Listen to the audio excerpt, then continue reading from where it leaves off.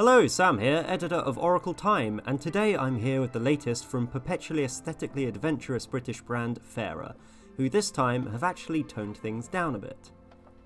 For me, the Lander is quintessential Farer fare, a classic watch design with a colourful, decidedly British twist. It's just what they do best, and in the case of the last Lander model, that came in the form of a striking sea green dial. It's still part of the collection, and it's still lovely.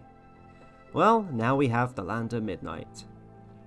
The Midnight feels like the standard Lander's older, much more serious brother.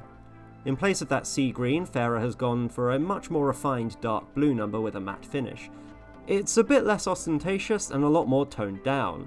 It still has the layered look, so it's not lost any of the detailing, it's just less eye-catching.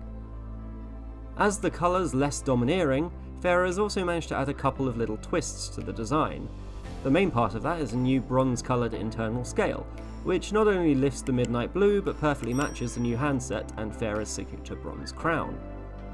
The white high contrast numerals are easy to read, but unfortunately the same can't be said of the second hand. Its blue is a good few shades lighter than the midnight and matches the minute track perfectly, but it's still blue on blue and can get a bit lost.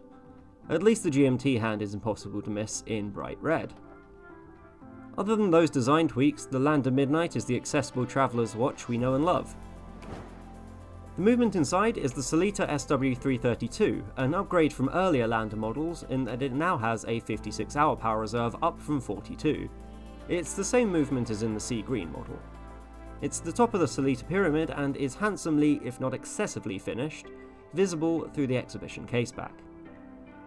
At 39.5mm across, the case is just a hair smaller than the standard 40mm, not quite venturing into retro sizing. It wears incredibly well, though honestly if you've ever worn a Farer before, you'll be expecting that. It also comes with a quick change strap, so if you do long for something a little funkier than the pretty low-key brown number we have here, it'll be an easy swap. The Lander Midnight isn't going to set the world on fire, far from it.